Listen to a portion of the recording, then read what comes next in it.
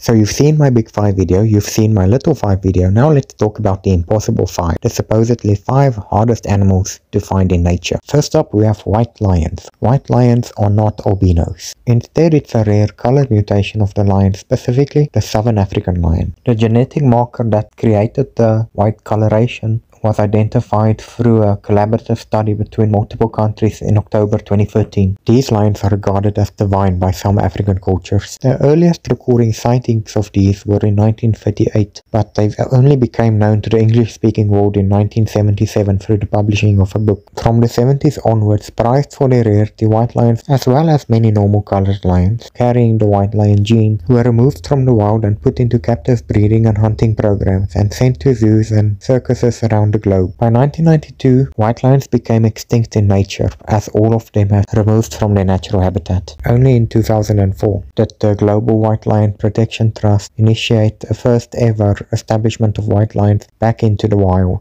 based on successful reintroduction techniques learned with other lions. The wild-born offspring of the rehabilitated white lions were integrated with resident wild tawny lions and released through a soft release process. The primary aim of the Global White Lion Protection Trust is to harness cultural importance of white lions to local indigenous communities to help protect the Kruger-to-Canyons biosphere and the greater lion population of the region. Subsequently, white lion cubs have been born in the Timbavati Private Nature Reserve in 2006, 2008, 2009, 2011, 12 and 13, as well as the Nwetse area of the Kruger National Park in 2014 and 2015 confirming that the recessive gene is still present and occurring in wild populations, and that white lions are indeed a natural occurrence. White lions are not albino but leucistic. The gene responsible for the mutation can lead to albinoism in more extreme forms, but they don't seem to have any drawbacks for their coloration. White lions can be selectively bred for their pigment, ranging from blonde to near white. They can also be selectively bred for their eye colors. Genetically, they're the same subspecies as the tawny South African lions, and the reintroduction of white lions into the wild do have critics who believe the lions may have genetic defects. However, ethical reintroduction programs have ensured that the lions are not inbred.